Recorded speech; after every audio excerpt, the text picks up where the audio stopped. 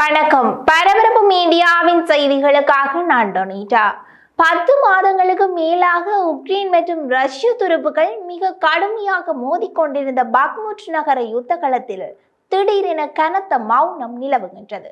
உக்ரைனில் ரஷ்யா யுத்தத்தை தொடங்கி அறுபத்தி ஆறாவது வாரத்தில் உள்ளது யுத்தம். யுத்தம் தொடங்கிய போது மூன்று நாளில் ரஷ்யாவுக்கு வெற்றியாக முடியும் யுத்தம் என்றார்கள். யுத்தம் நீடிக்கவே முப்பது நாளில் முடியும் யுத்தம் என்று சொன்னார்கள். ஆரம்ப கணிப்பீடு தவறுவது எங்களுக்கு உங்களுக்கு எல்லோருக்கும் சகஜம். ஆனால் யுத்தத்தில் ரஷ்யா புகுந்து விளையாடுகின்றது என்று இன்றும் சொல்பவர்களின் கணிப்பு ரஷ்யாவிலேயே சொல்லப்படுவதில்லை என்பதால் தமாஷான கருத்து என்று சொல்ல மாட்டோம். ரஷ்யாவில் சிலை வைக்கப்படக்கூடிய வெளிநாட்டு நபரது கருத்து என்று எடுத்துக்கொள்ளலாம் சரி வெவ்வேறு நாடுகளில் சீனா ஆக்கிரமித்த பகுதிகள் சீனாவின் வசம் இருக்க ரஷ்யா ஆக்கிரமித்த பகுதிகளில் என்ன நடக்கின்றது? தமது நாட்டில் ஆக்கிரமிக்கப்பட்ட பகுதிகளை உடைமைகளை கொடுத்தும் உயிரை கொடுத்தும் மீட்க தயாராக உள்ளது உக்ரைன். இந்த விஷயத்தில் சீனா அதிர்ஷ்டசாலி. ஆனால் ரஷ்யாவின் எதிரி போட்டு தாக்குகின்றது. ரஷ்யாவால் ஆக்கிரமிக்கப்பட்ட உக்ரைன் தமது நாட்டின் ஒரு சதுர மீட்டரை கூட விடுவதாக இல்லை. யுத்தம் தொடரும் நிலையில் நேற்று பக்முட் நகரில் ஒரே ஒரு தாக்குதல் மட்டுமே நடந்துள்ளது. தினமும் முப்பது முதல் நாற்பத்தைந்து வரை தாக்குதல் நடக்கும் அந்த யுத்த களத்தில் நடந்த அந்த ஒற்றை தாக்குதல் கூட இருதரப்பும் தொலைவில் இருந்தே ஆட்லரிஷல் தாக்குதல்களை நடத்தியதுதான். அந்த தாக்குதலை விட்டுவிட்டு பார்த்தால் ரஷ்ய மற்றும் உக்ரைன் துருப்புக்கள் துப்பாக்கிகள் அங்கு மாவு நீதுள்ளன இது அடுத்து வரும் புயலுக்கு முன் ஏற்படும் ஒரு சிறிய அமைதி என்று இருதரப்புமே நன்றாக தெரிந்து வைத்துள்ளார்கள். கடந்த சில தினங்களாக பாக்முட் நகர யுத்தத்தில் இருந்த பேக்னர் குரூப்பின் துருப்புக்களை ரஷ்ய துருப்புக்கள் மாற்றீடு செய்து கொண்டிருந்தார்கள். நேற்று திடீரென அதுவும் நிறுத்தப்பட்டுள்ளது. காரணம் உக்ரைன் யுத்தத்தில் நடப்பதை பாருங்கள். உக்ரைன் தலைநகர் கீவை நோக்கி ரஷ்யா நடத்தும் ஏவுகணை தாக்குதல்கள். ரஷ்ய தலைநகர் மொஸ்கோவை நோக்கி உக்ரைன் நடத்திய ஆளற்ற விமான தாக்குதல்கள். இவை தவிர கிழக்கு உக்ரைனிலும் தெற்கு உக்ரைனிலும் உக்ரைன் இராணுவம் நடத்த போகும் பெரிய அளவிலான தாக்குதல்களுக்கான முன்னேற்பாடுகள் என்று இருதரப்பும் வெவ்வேறு யுத்த முனைகளில் மும்முரமாக செயல்பட்டு கொண்டிருக்கின்றார்கள். அந்த வகையில் இருதரப்புக்கும் ஆயுத பலம் மற்றும் ஆட்பலம் வெவ்வேறு இடங்களில் தேவைப்படுகின்றது. அதனால் பாக்முட் நகரத்தில் எதிர்த்தரப்பு தாக்குதல் நடத்தாவிட்டால் தாமும் தாக்குதல் நடத்தப் போவதில்லை என்று இருதரப்பு முடிவு செய்திருக்கலாம். வாக்னர் குரூப்பின் துருப்புக்களை ரஷ்ய ராணுவ துருப்புக்கள் மாற்றீடு செய்வது. ஏன் திடீரென நிறுத்தப்பட்டது என்பதற்கு வாக்னர் குரூப்பின் தலைவர் எவ்ஜெனி பிரிகோஜின் எந்தவித காரணத்தையும் தெரிவிக்கவில்லை. தினமும் ஒரு காணொளி அறிக்கையை வெளியிடும் வாக்னர் குரூப்பின் தலைவர் நேற்று வெளியிட்ட காணொளி அறிக்கையில் பக்முட் நகர யுத்தத்தில் வாக்னர் குரூப்புக்கு ஏற்பட்ட சேதம் பற்றி ஆச்சரியமான தகவலை வெளியிட்டுள்ளார். வாக்னர் குரூப்பின் தலைவரால் ஒரு யுத்த முனையில் ஏற்பட்ட சேத விவரத்தை எண்ணிக்கையில் வெளியிடுவது இதுதான் முதல் தடவை. அவர் வெளியிட்ட காணொளி அறிக்கையின்படி பாக்மோட் நகர யுத்தத்தில் மட்டும் வாக்னர் குரூப் இருபதாயிரம் துருப்புக்களை இழந்துள்ளது. இவர்களை விட பல ஆயிரக்கணக்கானோர் காயமடைந்தனர் என்றும் அந்த காணொளி அறிக்கையில் கூறியுள்ளார். இந்த தகவல் ரஷ்ய ஆதரவாளர்களை கிறுகிறுக்க வைக்கக்கூடியது. அவர்களில் புரிந்துணரும் தன்மையுடையவர்கள் சூழ்நிலையை புரிந்து கொள்வார்கள். மற்றவர்கள்தான் பாவம். வேக்னர் குரூப்பை தவிர அங்கு ரஷ்ய ராணுவத்தின் இரண்டு படைப்பிரிவுகளும் யுத்தத்தில் ஈடுபட்டிருந்தன.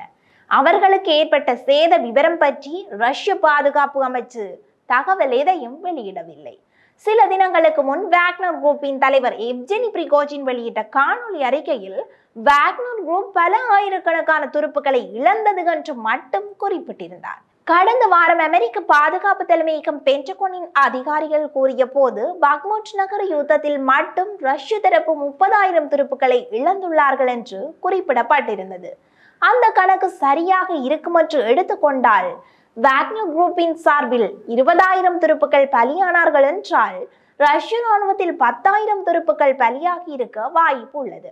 மற்றொரு நாட்டில் ஆக்கிரமிக்க திட்டமிட்டு இன்னமும் கைப்பற்றப்படாத ஒற்றை சிறு நகரில் ரஷ்யா இழக்க தயாராக உள்ள தமது பிரஜைகளின் எண்ணிக்கை ஆச்சரியத்தை ஏற்படுத்துகின்றது. பக்முட் நகரத்தில் நடக்கும் யுத்தம் பற்றி அவ்வப்போது தமது ஆய்வுகளை வெளியிடும் அமெரிக்க ராணுவத்தின் ஓய்வு பெற்ற தளபதி கர்னல் சர்த் கிரம்ரிச் நேற்று அல் ஜசீரா தொலைக்காட்சிக்கு கொடுத்த பேட்டியில் வாக்னர் குரூப்பின் தலைவரது சமீப கால அறிக்கைகளில் பக்முட் நகர யுத்தத்தில் அவர் மிகவும் விரக்தியுற்றிருப்பது நன்றாக தெரிகின்றது என்றார். அந்த யுத்தத்தில் அதிக எண்ணிக்கையிலான துருப்புகளையும் இராணுவ சாதனங்களையும் இழந்தது வாக்னர் குரூப் தான். ஒரு கட்டத்தில் பத்து மீட்டர் நிலப்பகுதியை கைப்பற்றுவதற்கு ஆயிரக்கணக்கான துருப்புக்களை வேக்னர் குரூப் பக்முட் யுத்தத்தில் இழந்தது. அப்படி கைப்பற்றிய பகுதிகளை ரஷ்ய ராணுவத்தின் கைகளில் ஒப்படைத்துவிட்டு வேக்னர் குரூப் பின்னகர தொடங்கியுள்ளது. அவ்வளவு இழப்புகளையும் சந்தித்த பின்னரும் அந்த யுத்தத்தில் வாக்னர் குரூப் எந்தவித ஆதாயமும் பெற்றுக்கொள்ளாமல் பின்னகர்வது வேக்னர் குரூப்பின் தலைவரை நிச்சயமாக விரக்தியின் உச்சத்துக்கு கொண்டு போயிருக்கும். உக்ரைன் ராணுவத்தின் கிழக்கு கட்டளை தளத்தின் செய்தி தொடர்பாளர் செர்கி செனவாட்டி பாக்மோட் நகர யுத்தம் பற்றி குறிப்பிட்ட போது பாக்மோட் நகரத்தில் எண்பது சதவீதமான பகுதிகள் ரஷ்ய ராணுவத்தால் கைப்பற்றப்பட்டுள்ளன. இருபது சதவீதமான பகுதிகளில் எமது துருப்புகள் இருக்கின்றார்கள். பாக்மோட் நகரத்தின் புறநகர பகுதிகள் பெரும்பாலும் உக்ரைன் ராணுவத்தின் கைகளில் உள்ளன. பாக்மோட் நகரம் முழுமையாக ரஷ்ய ராணுவத்தால் கைப்பற்றப்பட்டு விட்டது என்று கடந்த மாதம் அல்லது கடந்த ஆண்டு கூறியவர்கள் இனி என்ன சொல்வது என்று தெரியாமல் கூச்சம் அடைவார்கள் பாக்மோட் நகரில் உள்ள சூழ்நிலை மிக துரிதமாக மாற்றம் அடையும் என்பது ரஷ்ய ராணுவத்துக்கு நன்றாகவே தெரியும். எமது ராணுவம் பெரிய அளவிலான யுத்தத்தை எங்கே ஆரம்பிக்கும் என்பது ரஷ்ய ராணுவத்தால் ஊகிக்கப்பட முடியாத விஷயமாகவே உள்ளது. இதனால் எமது நாட்டின் வெவ்வேறு பகுதிகளை ஆக்கிரமித்துள்ள ரஷ்ய ராணுவம் ஓரளவு குழப்பமான மற்றும் நிச்சயமற்ற தன்மையில் உள்ளது. அவர்கள் தமது துருப்புக்களை எந்த பக்கமாக நகர்த்துவது என்பதில் குழப்பம் அடைந்துள்ளார்கள் என்பதை களமுனையில் எம்மால் கவனிக்க முடிகின்றது என்று தெரிவித்தார்.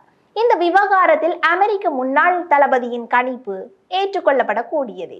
பக்முட் நகர யுத்தம் பற்றி தமது கருத்துக்களை தெரிவித்த அமெரிக்க ராணுவத்தின் ஓய்வு பெற்ற தளபதி கர்னல் சர்த் கிரம்ரிச் ஆப்கானிஸ்தானிலும் பின்னர் ஈராக்கிலும் அமெரிக்க ராணுவம் யுத்தம் புரிந்த போது அந்த யுத்தத்தில் தளபதியாக இருந்தவர்.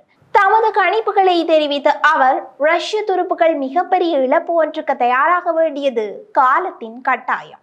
உக்ரைனில் சூழ்நிலை அவர்களுக்கு சாதகமாக இல்லை. கிழக்கு உக்ரேனோ தெற்கு உக்ரைனோ ஏதோ ஒரு முக்கிய நகரம் உக்ரைன் ராணுவத்தால் கைப்பற்றப்பட்டால் ரஷ்ய ராணுவம் ஆக்கிரமித்திருக்கும் மற்ற நகரங்களில் ரஷ்ய துருப்புக்களின் மன உறுதி மிக மிக பாதிக்கப்படும். அதுவும் ஏதோ ஒரு காரணத்துக்காக பக்முட் நகரத்தை அவர்கள் இழக்க நேர்ந்தால் அது ரஷ்யர்களுக்கு உச்ச அளவிலான இழப்பாக மாறிவிடும். அதனால் தான் ரஷ்ய பாதுகாப்பு அமைச்சும் சரி ரஷ்ய அரசு ஊடகங்களும் சரி இப்போது பாக்மட் நகரத்தை பற்றி இப்போதெல்லாம் அதிகமாக வாய் திறப்பதில்லை. உக்ரைனில் கெர்சன் நகரை ரஷ்ய ராணுவம் கைப்பற்றிய போது துள்ளி குதித்த ரஷ்ய ஆதரவாளர்கள் கெர்சன் நகரை விட்டு ரஷ்ய ராணுவம் பின்வாங்கிய போது வாயை பொத்தி கொண்டு இருந்தது போல இருக்க வேண்டுமல்லவா? உக்ரைன் ராணுவம் நன்கு பயிற்சி பெற்ற பன்னிரண்டு படையணிகளை தேவையான மேற்கு நாடுகளின் தயாரிப்பு ஆயுதங்கள் மற்றும் இராணுவ சாதனங்களுடன் பெரிய அளவில் யுத்தத்திற்கு தயார்படுத்தி வைத்திருக்கின்றது. அந்த படையணிகளில் ஓரிரு படையணிகள் பாக்முட் நகரத்தின் பக்கமாக திருப்பப்பட்டால் இருபத்தி நான்கு மணி நேரத்துக்குள் ரஷ்ய ராணுவத்தின் வளங்கள் பாதைகள் பாக்முட் நகரில் அடிபட்டு போகும். அப்படி ஒரு சூழ்நிலை ஏற்படுகின்றது என்றால் ரஷ்ய ராணுவம் பக்முட் நகரத்தை முழுமையாக கைவிட்டு பின்வாங்க வேண்டிய சூழ்நிலை ஏற்படும்.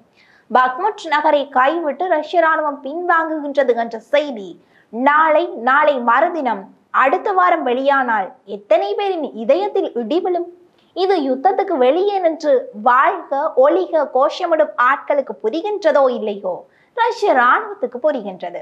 பாக்முட் நகரத்தில் ரஷ்ய ராணுவம் இப்போது தாக்குதல் நடத்தாமல் காத்திருப்பதன் காரணம் பாக்முட் நகரத்தில் என்ன நடக்கப் போகின்றது என்பதை ரஷ்ய ராணுவம் உணர்ந்து கொண்டுள்ளது. ஏதோ ஒரு கட்டத்தில் அந்த நகரத்தை கைவிட்டு பின்வாங்க வேண்டிய சூழ்நிலை ஏற்படும் என்ற நிலையில் எதற்காக மேலதிக உயிரிழப்புகள் மற்றும் ஆயுத இழப்புகளை பக்முற்றில் இழக்க வேண்டும் என்பது அவர்களது நிலைப்பாடாக இருக்கலாம். பக்முட் நகரத்தில் வேக்னர் குரூப்பின் துருப்புக்களை மாற்றீடு செய்த ரஷ்ய துருப்புக்களில் முப்பது பேர். தம்மிடம் உள்ள ஆயுதங்கள் மற்றும் இராணுவ சாதனங்களுடன் போய் உக்ரைன் இராணுவத்திடம் சரணடைந்துள்ளார்கள். உக்ரைன் யுத்தத்தில் உலகின் இரண்டாவது பெரிய இராணுவமான ரஷ்ய இராணுவத்திற்கு ஒரு சிறிய வெற்றியையாவது காட்ட வேண்டியது மிக மிக அவசியம். பாக்முட் நகரத்தில் ஒரு வெற்றியை காட்டி அதை ஒரு வெற்றி விழாவாக கொண்டாடுவதென்று ரஷ்ய ராணுவம் முன்பு திட்டமிட்டிருந்தது. இப்போது அந்த திட்டத்தை கைவிட்டு விட்டார்கள். வெற்றி விழா கொண்டாடினால் அந்த நகரத்தை கைவிட்டு போகும்போது அவர்களுக்கும் கூச்சமாக இருக்கும். ஓரமாக நின்று கோஷமிடுபவர்களுக்கு கூச்சமாக இருக்கும். அதனால் தான் தமது கட்டுப்பாட்டில் முழுமையாக இல்லாத நான்கு பிராந்தியங்களை உரிமை கோரிய ரஷ்ய ஜனாதிபதி பக்முட் கைப்பற்றப்பட்டது என்று கூறவில்லை. இன்றைய சூழ்நிலையில் பக்முட் நகரில் ரஷ்ய ராணுவத்தால் கைப்பற்றப்பட்ட இடங்களை தக்க வைத்துக் கொண்டாலே அதுவே மிகப்பெரிய விஷயமாக இருக்கும். உக்ரைன் யுத்தத்தில் அடுத்தடுத்த தினங்களில் மிக பெரிய அளவிலான மாற்றங்கள் ஏற்படுவதற்கு வாய்ப்புகள் மிக அதிகமாக உள்ளன.